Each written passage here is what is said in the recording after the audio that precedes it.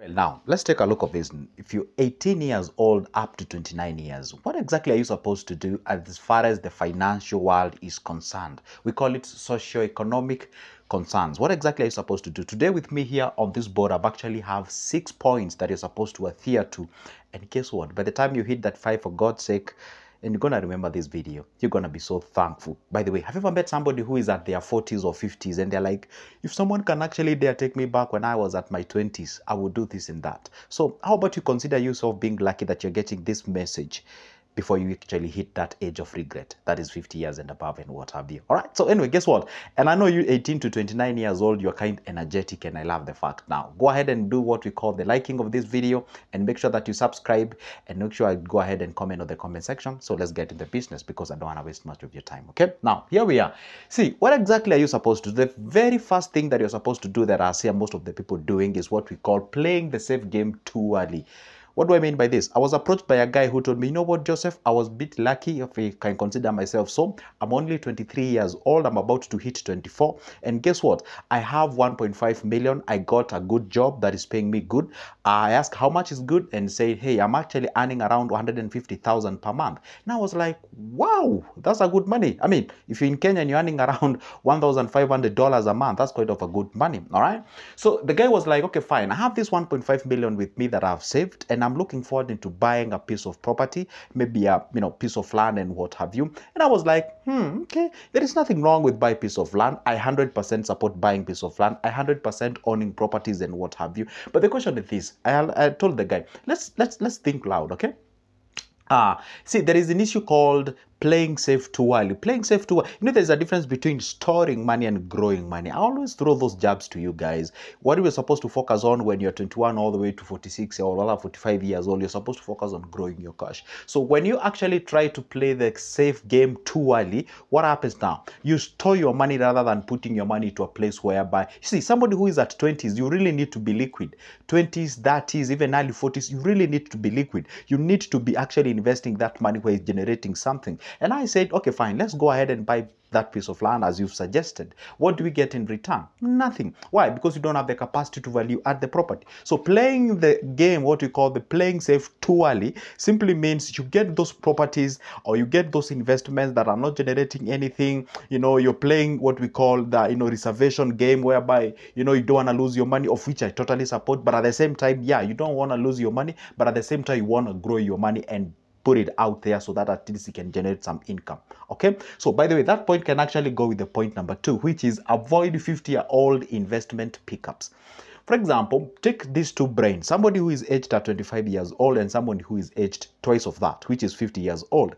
And then this guy, you subject them to like 4 million. Let's say they have their 4 millions with them. So the 50 guy, the 50 year old guy and the 25 years, both of them, they have the 4 million. Those two guys will approach life differently. The guy at 50 probably will think about, hey, you know what? Probably if I don't have a home, I'm going to go ahead and acquire a home because I have families, probably my kids are actually growing older now. You know, I'm about to be called a grandfather and what have you. So the guy is safeguarding what he has. He don't want to lose that money. And obviously, there's no age that I'm saying you're supposed to lose your money. So the guy will think about getting maybe a piece of land somewhere, coming up with a structure to own a home, blah blah blah, and such kind of a thing. Basically, that's what we were told when we were growing up. Look up, look upon when you, you know, look upon uh, to access or to acquire, you know, to own a home and what have you. That is playing safe. That is more of safeguarding your money than investing it. And then the guy at 25 probably will be like, hmm, you know, let's say, let's say for example, you're a video videographer, you're a producer. That guy will think about, hey, I can buy myself a good camera. I can record, I can I mean I can buy some sell myself some. For example, if such kind of kind of kind of money, I will think about getting some things about the production and what have you.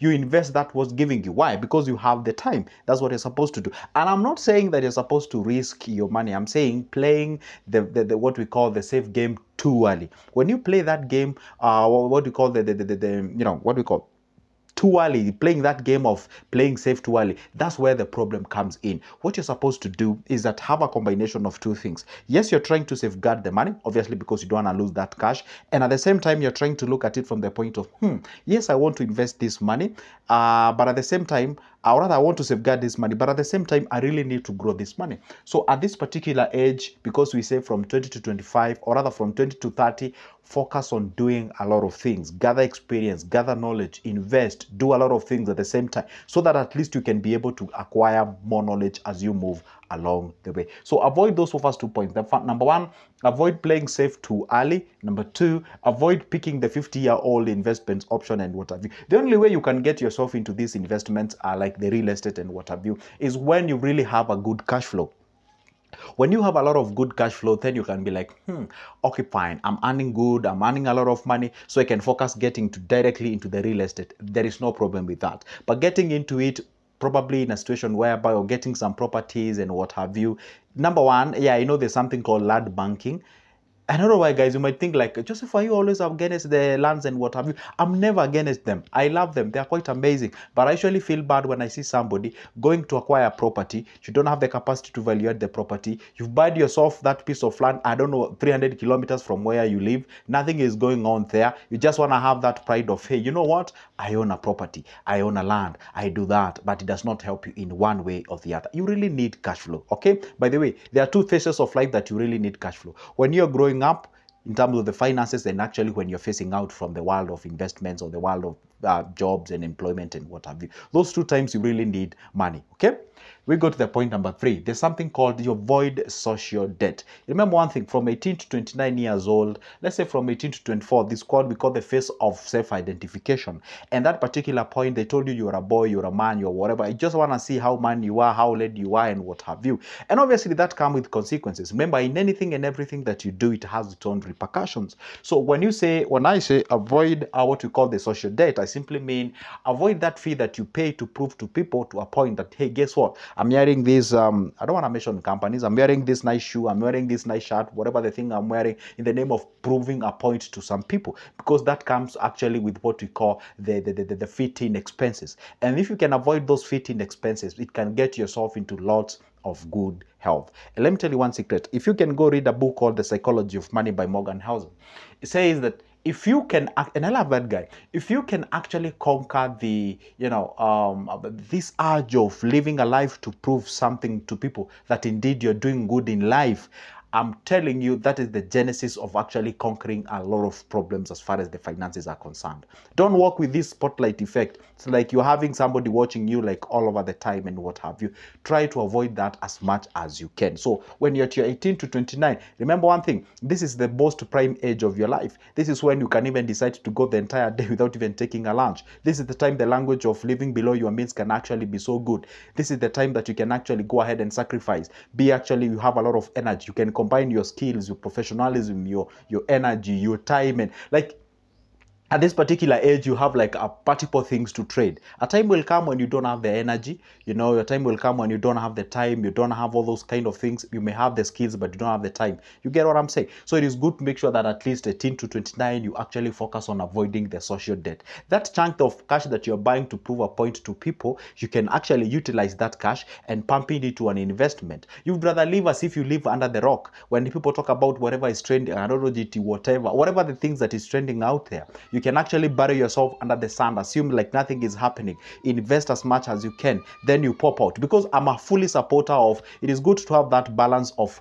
when you're investing and when you're enjoying life. I don't want to bury then yourself into this investment to a point whereby you're even denying yourself the life things. So when you've once you've invested, you've actually laid all the strategies and all the systems, the cash is coming in. Now for that particular point, you can even buy whatever you want. You can go for those vacations. You can buy any and every brand that you need out there. But at least don't be a slave of something. Don't buy those things to associate yourself with them. Okay? Try to invest and associate yourself with the investments. Okay? And it's quite funny that we say the most uh, poor people tend to associate themselves with brands and some things that are not really investments. But the rich people say, hey, that flat is mine, that investment is mine, and all those kind of things. Okay? Let's go to the point number four, or rather number five. Four, rather. See, uh, start socio-economic investment early. What does that mean? See, there are two things, socio-economic early. Social, what does it mean? Um, try to invest on who you know who knows who you know, and that kind of things, who knows you. Sometimes it's not about who you know, sometimes it's about who knows you. For example, you can know somebody who doesn't know you, so you cannot even benefit out of that. So it is good to make sure that at least you know people who knows you and people, you get what I'm saying? And circle yourself with people of character, people who are call them the strategic people, who people, you know, can be able to solve one or two problems, people who speak the language of investment, people who speak the language of integrity, people who speak the language of self-growth, self-improvement, people who speak the language of growing yourself, be it either spiritually, financially, socially, relationship-wise, and all those kind of things associate with yourself with people who actually are helping you to propagate yourself to the next level do you know what they say if you can actually count five idiots amongst your circle, you are wrong. There were actually six. You didn't count yourself. Birds of a feather flock together. Always identify whom you associate with. By the way, it's quite funny. You know, it's quite funny because if you can associate with people who are winning, I don't know whether this is kind of contagious or whatever the thing it happens, but the thing is, it has it usually has that kind of a, a character or a behavior whereby you can even catch cold of success and you can as well transform yourself and propagate yourself to the next level.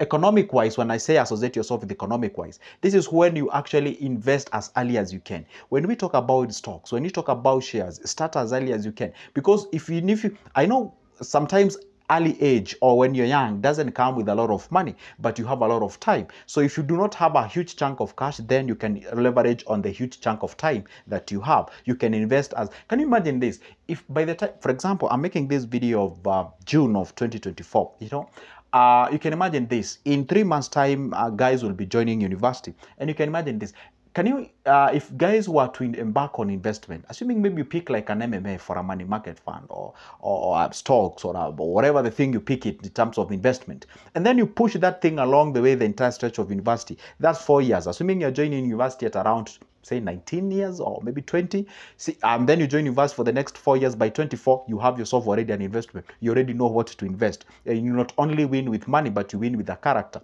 And on top of that you add something called um, Uh, another four or three or five years before maybe you get a family or something another stretch of actually investment okay?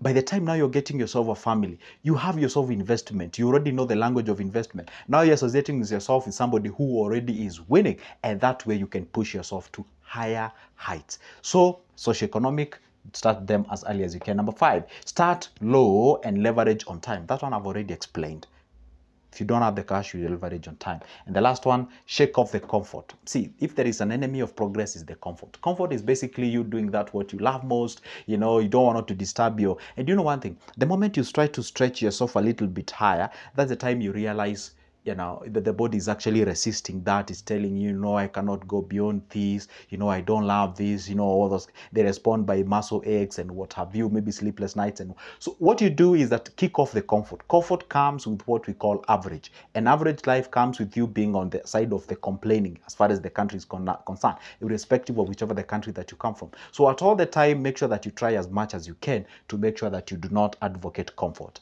You know what achieving greatness does not come with comfort. Always push yourself above the average. And I told you the simplest way to make sure that you win a lot is simply looking what the majority are doing and do the opposite. I repeat, simply looking what the majority are doing and do the opposite. All right.